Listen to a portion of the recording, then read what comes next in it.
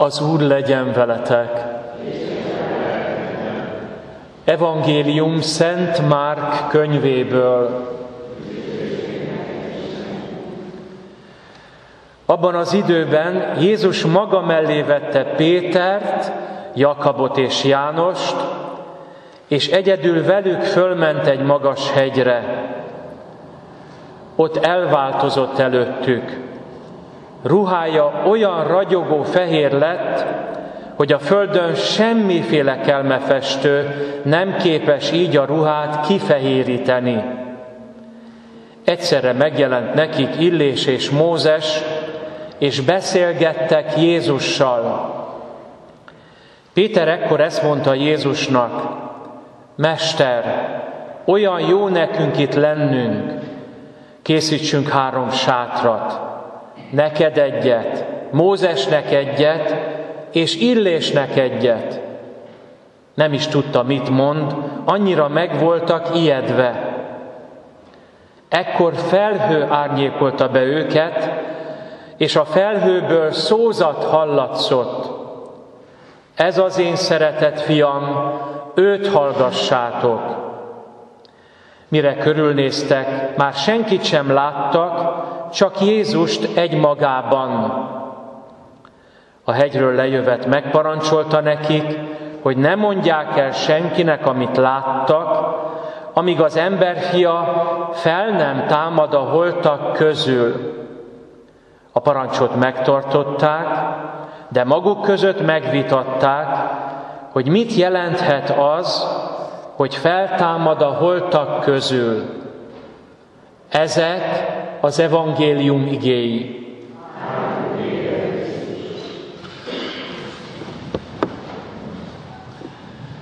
Krisztusban hívő kedves testvéreim, a most elhangzott evangéliumi rész az Úr Jézus színe változásáról szól. Hitelődeink az ókortól kezdve, ezek közt nagyon komoly hittudósok is voltak, és nagyon sok szentírás magyarázó foglalkozott többek közt ezzel a szentírási résszel is. Egyik alapkérdésük az volt, hogy miért volt ez fontos az Úr Jézus számára, hogy megmutassa az ő eljövendő, tehát a túlvilági dicsőségét ennek a három apostolnak. És egyáltalán miért csak három apostolnak? Mert egyébként a tanításait, a többi egyéb cselekedeteit valamennyiük előtt végezte. Kedves testvéreim, sokára, meg sok-sok gondolkodás, meg elmélkedés, meg imádság, és nem tudom mi minden után eljutottak oda, a mi szent atyáink, tiszteletre méltó szent atyáink, hogy az Úr Jézus nevelő szándékkal tette azt, amit tett. Többek közt, hogy magával csak három apostolt vitt. Ő hármajukat akarta fölkészíteni az Úr Jézus az ő földi életének legnagyobb próbatételének elfogadására. Tehát arra, nagyon egyszerűen fogalmazva, hogy amikor Jeruzsálemben fogják látni őt az apostolok, szégyenletesen, gyalázatosan, szenvedés és halál közepette, most figyeljünk oda, nehogy véletlenül megbotránkozzanak benne. Mert ez nagyon könnyen megy, valljuk be őszintén, legalábbis én ezt megteszem, jó példát mutatok remélhetőleg másoknak is, én nagyon sokszor ezt megteszem. A botránkozás.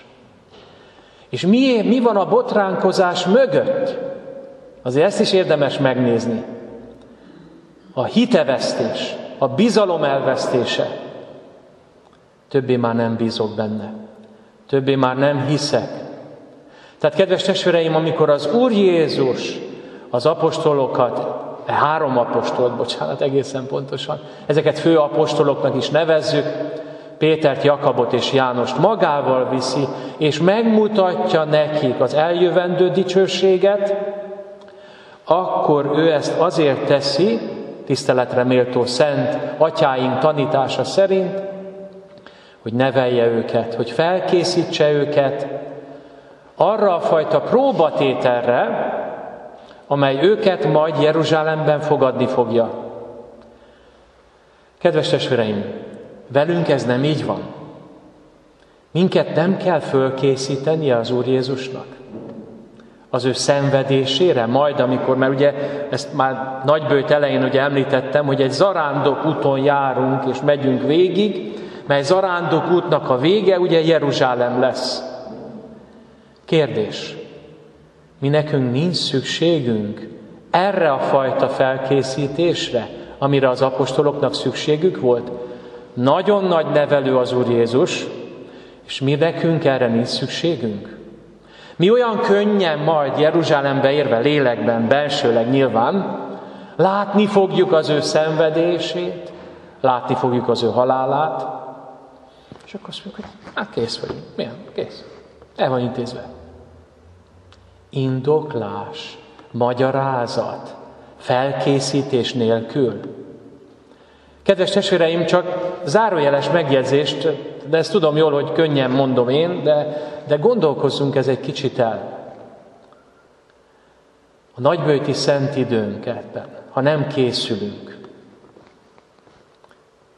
nem történik meg semmi a bensőnkben.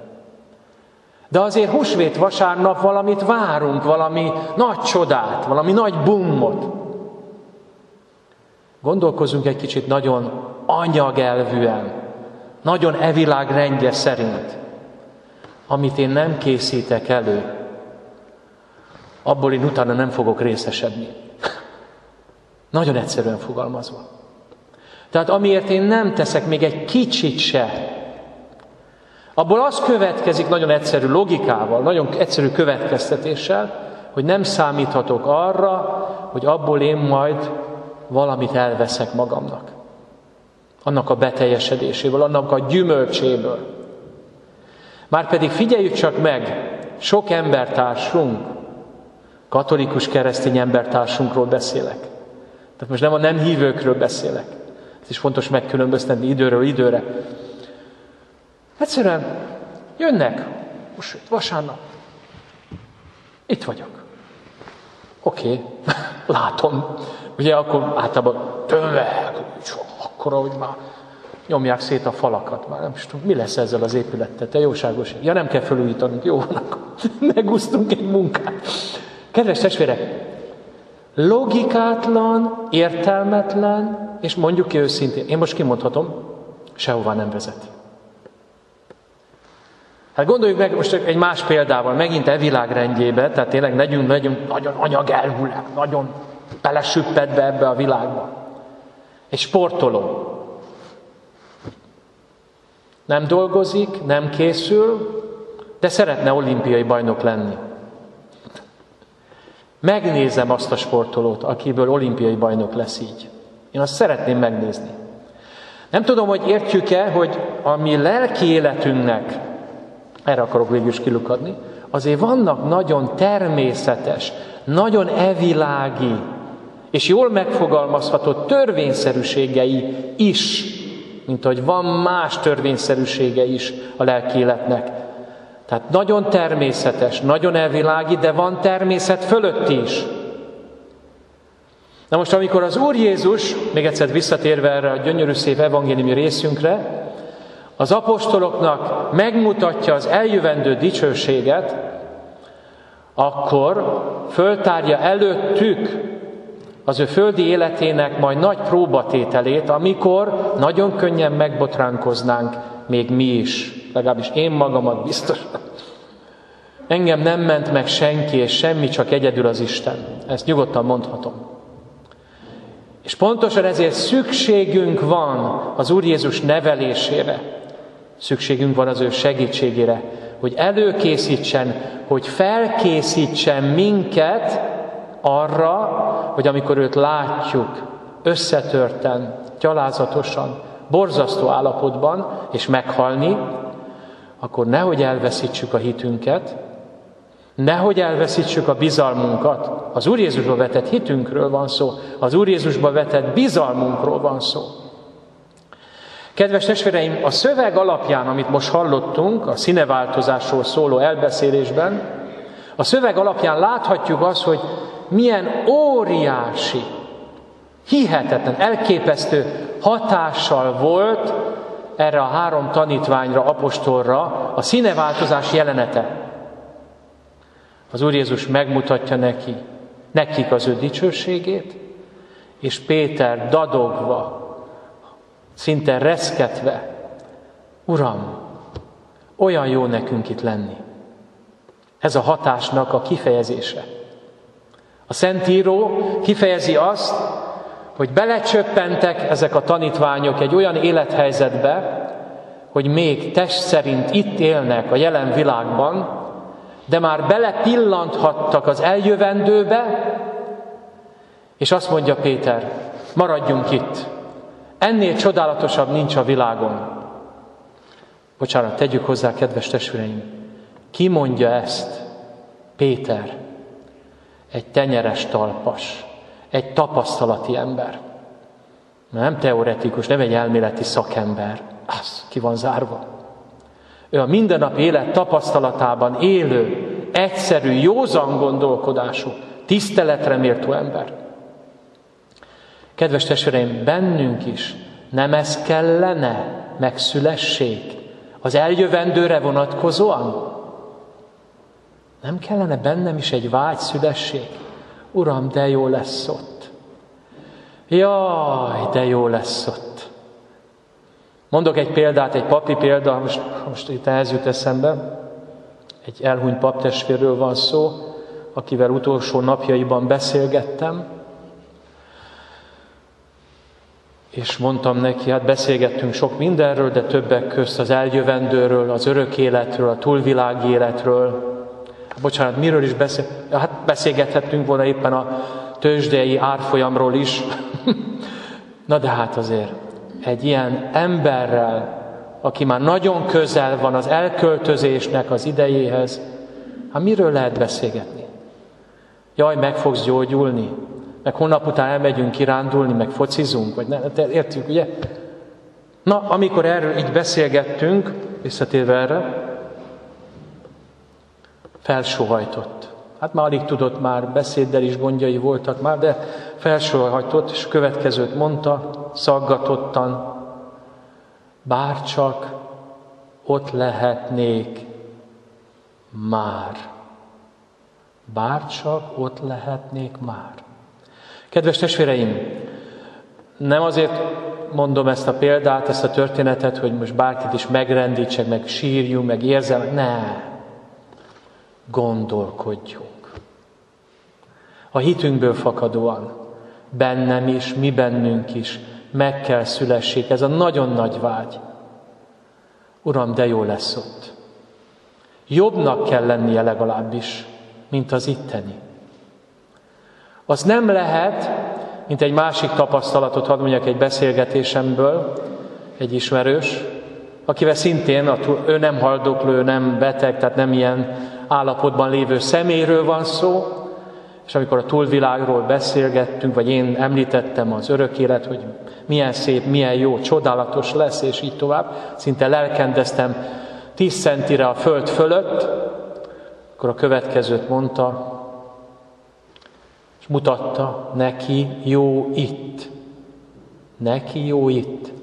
És nekem azt tanácsolja, most figyeljünk oda, hogy élvezzem az életet. Nem is lennénk a 21. 21. század elején, hogyha nem ezt mondta volna. Mi marad? Élvezd az életet. Milyen életet? Hát minden múlandó, nem?